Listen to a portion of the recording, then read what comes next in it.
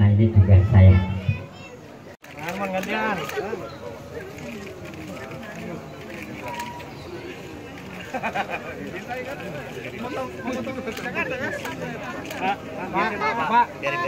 yang memang seharusnya berada di sungai. Kita tadi dengar ceritanya merayakan Hari Ciliwung yang diselenggarakan oleh teman-teman komunitas eh, Ciliwung Condet. Dan ini yang ketujuh, setiap tanggal 11 November sejak ditemukannya penyu raksasa 11 November tahun 2011. Itu menandai bahwa sungai adalah tempat hidupnya berbagai macam makhluk. Jangan sungai dipandang sebagai tempat aliran sampah, tapi sungai adalah tempat ekosistem di mana keanekaragaman hayati itu harus bisa tumbuh berkembang.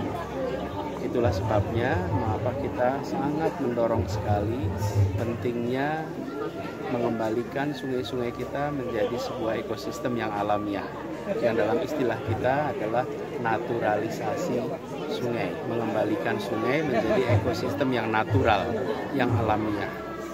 Dan kita membutuhkan kerja bersama antara pemerintah dengan komunitas yang sudah selama ini konsisten menjaga. Ini teman-teman di sini komunitas Ciliwung, ada yang di Bogor, ada yang di Depok, ada yang di Jakarta. Mereka sudah menjaga bagian masing-masing. Kita akan lakukan kolaborasi itu dan kita sendiri di Pemprov sudah berkoordinasi dekat dengan BBWSCC Balai Besar uh, wilayah Sungai Ciliwung Cisadane dan juga dengan uh, Direktur uh, Sungai dan Pantai Pak Jarot itu direkturnya kepala BBWSCC Pak Bambang dan kita sudah bersepakat bahwa kita akan melakukan sama-sama bagaimana sungai-sungai di Jakarta bisa dijadikan sebagai ekosistem natural. Dan itu artinya menjaga agar sampah tidak sampai ke sungai. Karena kalau sudah sampah di sungai, maka akan muncul masalah.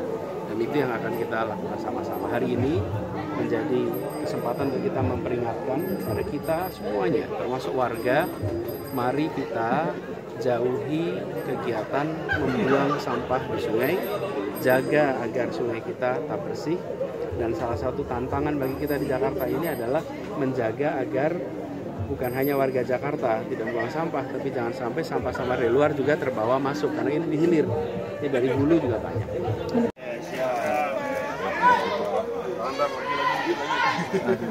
Pak.